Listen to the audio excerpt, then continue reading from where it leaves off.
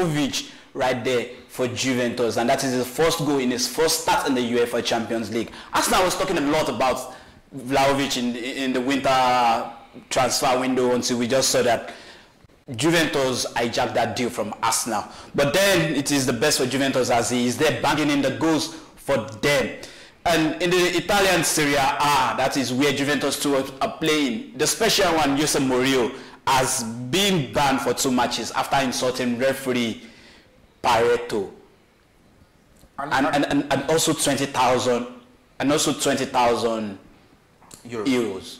Um, what does this speak for a coach of caliber of Mourinho? I'm not surprised. He, he keeps doing things like this in wherever, wherever league he goes to.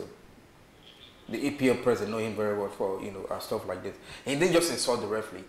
He made a call across to the referee, you know, after the game, talking about the referee's father involved in the match fixing scandal and all that. And I'm very sure the referee reported to the referee committee and, and they took it up. So he was lucky getting getting a two-match ban. Would have got, gotten more stiffer, you know, punishment than that. How can you call a referee after a game and tell him about his father that was involved in match fixing situation, which is wrong, you know? So you don't do stuff like that. You don't you don't go up, you don't go beyond your line. You have you have a line. You, you don't cross the line. Yeah, you don't cross the line. So he, he did that, and, and, and, he got he got paid for it, and, and he paid for it. Every everywhere there's there's always a boundary everywhere, and and I think the boundary needs to be marked for Mourinho.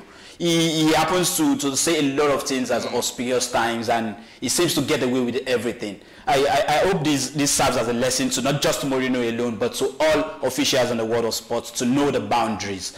So our, our legendary player, Pele, is right there in the hospital and we are wishing him a quick recovery. He's going into for chem chemotherapy.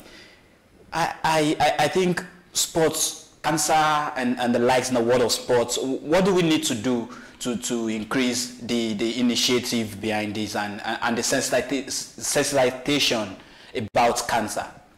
Well, there, there, been a fight for cancer, not just, you know, um, in sports alone. It's been, it's, it's, a daily affair. United Nations is doing a lot about fighting cancer and all that. But I think there are professional, professional motives, you know, and, and rules and regulations people need to adhere to in order to stay away from these things, you know. And um, Edson Arantes, Don Nascimento, as well know him, Pele, um, it's really sad, you know. But I, I, we learned he's kind of stable right now. Yes. And yes. it's and this thing comes that comes with the age 10. It's 81, you know. So um, I wish him speedy recovery, and um, it tells a lot of people, look, you guys need to take a cue from this. You, get, you need to stay away. When you're playing professional football, there are a lot of things you need to stay away from. So when you when you leave the game and age is calling, you don't fall, you know, ill to some kind of um, you know um, deadly you know uh, sickness as this.